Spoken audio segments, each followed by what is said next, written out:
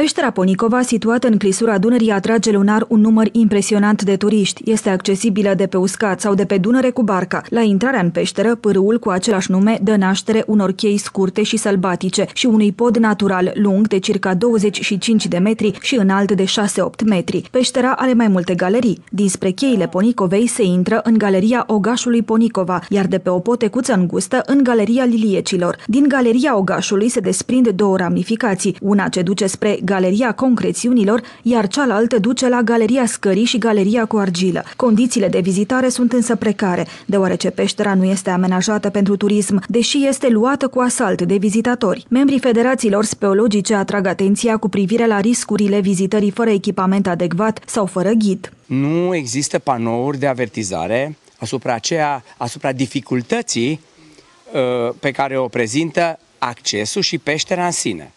Dacă ar fi vorba să vorbim numai despre acces, după cum ați observat și dumneavoastră, sunt două sectoare, sau în sfârșit un sector destul de, uh, să spunem, sever, referitor la uh, parcurgerea lui de către oameni mai în vârstă și de către copii.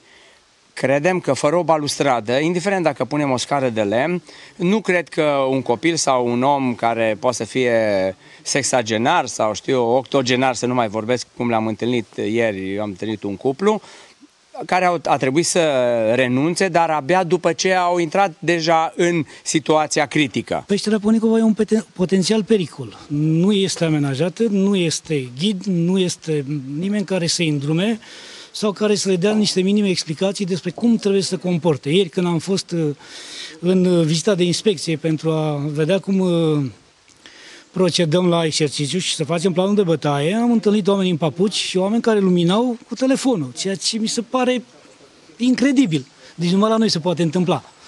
Uh, sper ca cei în drept să ia măsuri și să poată să o amenajeze, să poată să fie un flux de turiști, că până la urmă turiștii ăștia aduc niște bani și mai crește un pic, poate și nivelul județului nostru.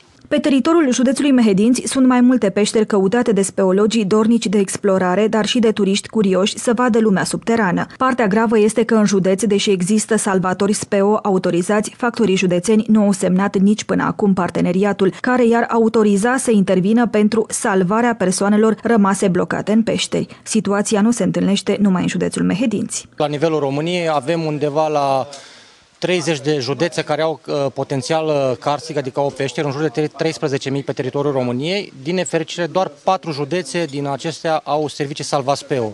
Restul uh, județelor încă așteaptă formarea de echipe Salvaspeo, dar asta implică și or, uh, organizarea consiliilor județene prin pentru formarea serviciilor Salvaspeo. Reprezentanții cluburilor SPEO recomandă ca vizitarea oricărei peșteri să se facă purtând echipament adecvat, cizme de cauciuc, salopetă, cască de protecție și lanternă.